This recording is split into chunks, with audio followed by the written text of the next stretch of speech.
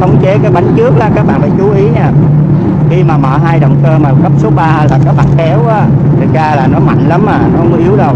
Cho nên bây giờ mình đi bằng là một động cơ dưới mát 50 không à. Mát 50 nha, còn các bạn đi hai động cơ là các bạn kéo chừng 30 thôi là nó giật cái đầu rồi.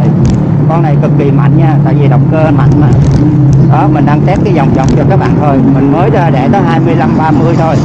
25 30 thôi là nó đã giật rồi, mình không dám kéo, tại vì con này cực kỳ mạnh nè phải chú ý à. Đó.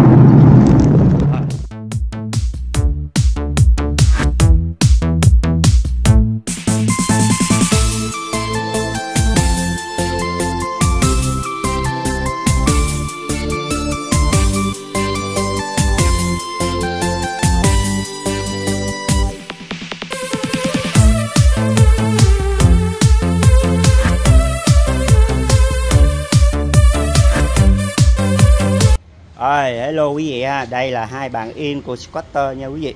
À, bạn yên này thường thấy rất là nhiều ha, chỉ khác là cái chân đế thôi.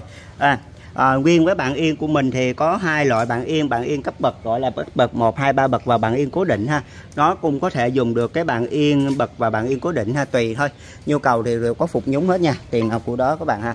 Đây, có những cái yên nó không có phục nhúng, người ta mua chúng đồ rẻ tiền đó mà. Rồi cái hai này là cái hàng uh, squatter hai yên một lớn một nhỏ nè à, nó là rất là chất lượng ha.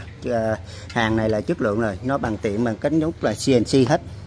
À, Việt Nam mình có một vấn đề là họ chỉ gia công những cái đơn giản thôi. Chứ ờ, nếu mà nói về CNC là đưa vô thì giá thành rất là cao quý vị ạ. Không phải là các bạn cứ nghĩ là cái này đơn giản đâu không có đơn giản đâu. Các bạn đem ra thợ coi nó lắc đầu liền à. Nó có làm nó cũng không làm cái kiểu này cho các bạn được. Bởi vì nó không có mấy tiền CNC mấy tiền thông dụng thì có. Còn kêu vô mấy tiền CNC cắt từng miếng như thế thì nó cũng khó thực tế ở Việt Nam mình nó còn vướng về vấn đề này. Còn các bạn kiếm đúng ờ, uh, CNC mấy tiền CNC người ta làm thì người ta không ăn cái giá rẻ đâu mấy bạn thậm chí là còn ăn mắc hơn cái vàng nhập nữa. À, cái đó lưu ý nha. Mình à, đã đi mấy tiệm rồi. Hầu hết là người ta thích đơn giản hơn không có thích à, cầu kỳ khó khăn. Ngay cả mình làm mình cũng thích đơn giản hơn. Cho nên à, cái dòng này là phải có máy mới làm được.